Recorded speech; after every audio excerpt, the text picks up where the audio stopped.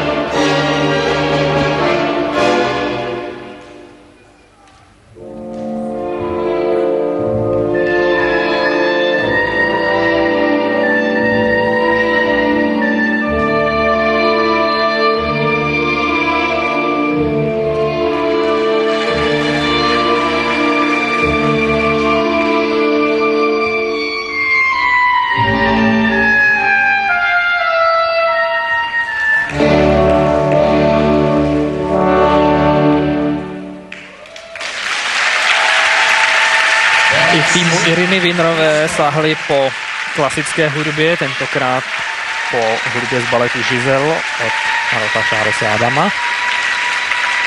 A Věra Sesinová ukázala, že i takováhle výrazná lirická poloha jí není cizí. Ta sestava se jí opravdu povedla. Nebylo tam vidět žádnou větší chybičku. Myslím si, že eh, je to kandidátka na zlatou medaili v této sestavě. Sestavou proplula tanečně, krásně dotahovala piruety a myslím si, že to eh, v tomto případě musí chtě nechtě rozhodčí ocenit.